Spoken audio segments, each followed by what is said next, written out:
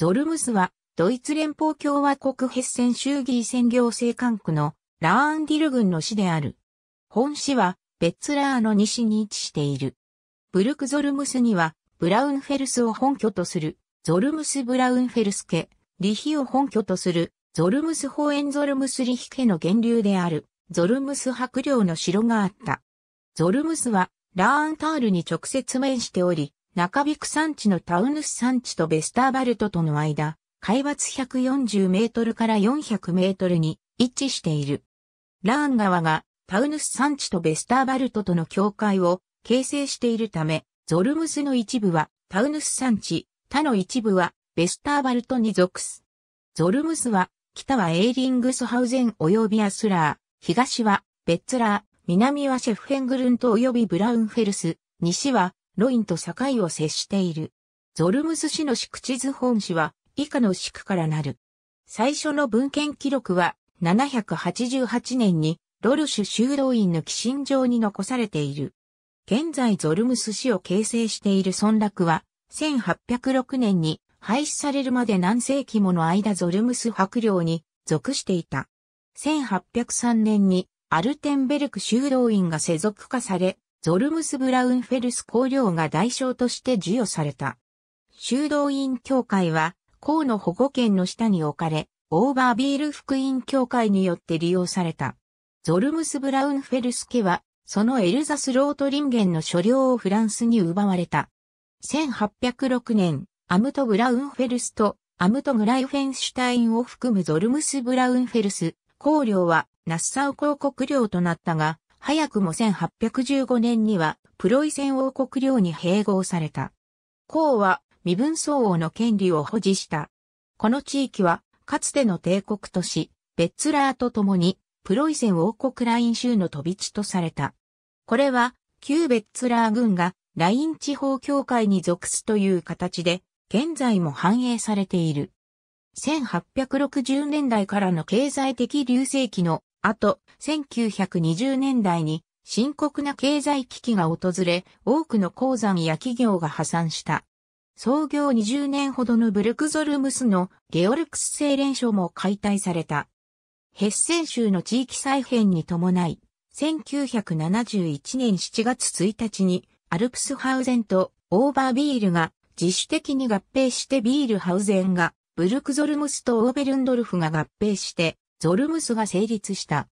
1977年1月1日、州法に基づき、この二つの町とニーダービールが新たな自治体、ゾルムスとして統合された。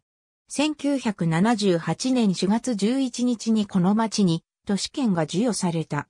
ゾルムスの市議会は37議席で構成されている。ヘッセンの自治体法によれば、市長は自身とゾルムス市の場合11人の名誉職の委員とで構成される委員会の代表者である。2017年現在の市長は2010年8月1日からフランクイン・デルタールが務めている。ゾルムス市の青年議会は2002年から公的な委員会として発足した。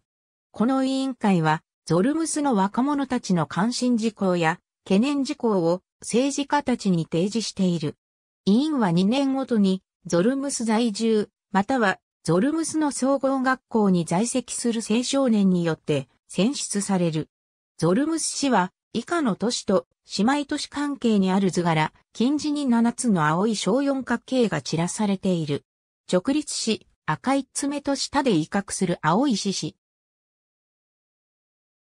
それに被せて小盾が配されている。小盾は銀地に2本の赤いハンマー。銀地に青い獅子は、ゾルムス白の紋章である。2本のハンマーは、宿部における古い甲府の伝統を象徴している。赤と銀の配色は、ロルシュ修道院の色である。オーベルンドルフは8世紀にこの修道院の所領であった。死の紋章は、元はオーベルンドルフの紋章であった。ゾルムス産業パークには、金属加工業者、機械製造業者、建設業者、小売業者が本社を置いている。ギリシアのエラクトール・コンツェルンの環境、エネルギー、人海処理部門がゾルムスに本部を置いている。ゾルムスには数多くの貸しボート屋があり、ラーンガー沿いにはレジャーキャンプ場や小さなテント村を含め自然と親しむキャンプ場が多くある。ラーンタール鉄道、アルプスハウゼン駅、ゾルムスは連邦道 B49 号線を使ってアクセスする。この道路にはオーバービールのインターチェンジや他の地区からも侵入可能である。本市はアルプスハウゼン駅及びブルクゾルムス駅によって鉄道に結ばれている。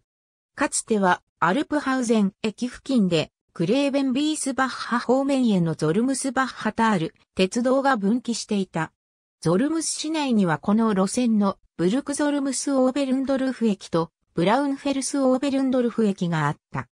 この路線は1985年に旅客運行を停止した。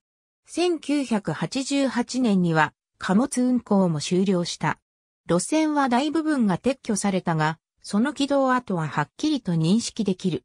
ゾルムス向けの日刊紙は、ラーンディル新聞グループのゾルムースブラウンフェルザーである。これは、ベッツララーノイエツァイトゥングの地域版である。さらに、ゾルムス市では、リヌスビッティヒ出版によって、ゾルムサーのハリヒ店が週刊で刊行されている。アルテンベルク修道院郷土博物館ゾルムスのブルクゾルムス地区にある、この博物館は2つの部分で構成されている。郷土博物館には1900年頃のゾルムスの生活が展示されている。郷土史やサークルの歴史をテーマとした様々な展示やパフォーマンスが展示を保管している。郷土博物館は、かつてのホルマンベルクの事務棟に入居している。目玉となる展示品として、おそらく1384年のゾルムス城包囲、破壊時のものとされる石製の砲弾がある。ホルマンハレには工業博物館がある。ホルマン社が1880年代以降に製造した農機具の他に、例えば稼働状態の蒸気、針金製造機などが展示されている。また、鉄生成や農作物の収穫作業についての展示もある。